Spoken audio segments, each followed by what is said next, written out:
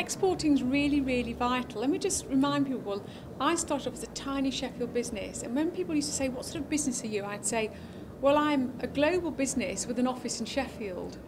And I always remind people, I'm an entrepreneur, and I remind other people to say, you know, you're a business, it doesn't matter where your office is, but you've got to have a global thought. So, for example, my company, all these years later, we export our knowledge, our expertise around the world. We're just about to open a great big new thing in India, we're already in Australia and Poland and 11 other countries. So, it's really vital. Don't limit your vision. And guess what? Go to all the embassies and all the trade people and all the people that we pay our tax for and ask and demand that they help you do it. There's my top tip. Growth and exports are really important to the UK. If we just see ourselves as the UK and we spend loads and loads of time going round and round the same stuff, we're not going to get out of the situation we're in. We have to think globally, we have to send our knowledge, our expertise and our products around the world and bring the money back in. We have to do this thing.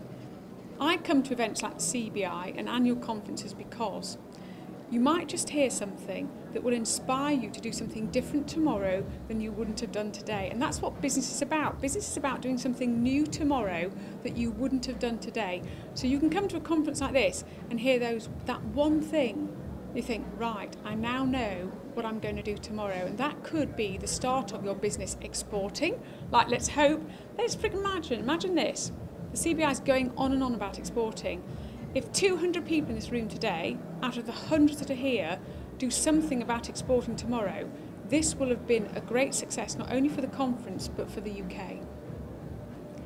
I've been in business for 24 years, 25 years next year in 2012, and you know, I'm an entrepreneur. Every year is challenging. And everyone always asks me what the main challenges are.